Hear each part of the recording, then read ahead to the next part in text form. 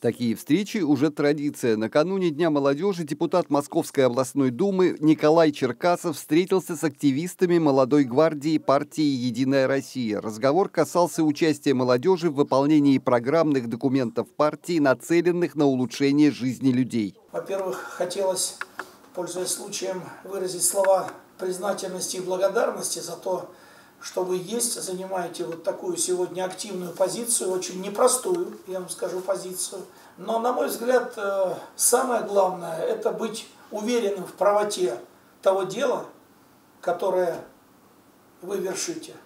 И убежденность, что это хорошие, добрые дела, которые нужно делать как можно чаще.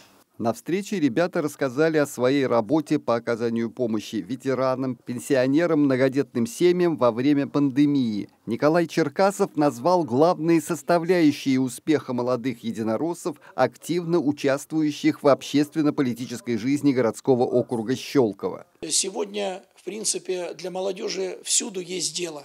И самое главное, что это находит понимание и отклик у молодых ребят. Они чувствуют, что они полезны, что они могут – это сделать, у них есть для этого возможности, их поддерживает власть в самых хороших и креативных начинаниях. И совместными усилиями, самое главное, можно добиваться гораздо большего на благо Щелковской земли. Встреча завершилась торжественно. Депутат Черкасов вручил грамоты и благодарственные письма Московской областной думы самым активным волонтерам. Андрей Цеханович, Сергей Максимов, Щелковское телевидение.